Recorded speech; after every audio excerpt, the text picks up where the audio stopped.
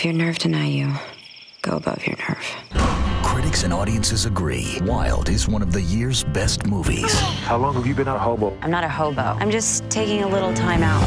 Reese Witherspoon delivers a sensational performance, by far the best one of her career. And now she's been nominated for a Screen Actors Guild Award and the Golden Globe Award for Best Actress of the Year. My mother used to say life isn't easy, but it's worth it. Cheers to that. Wild, rated R, now playing.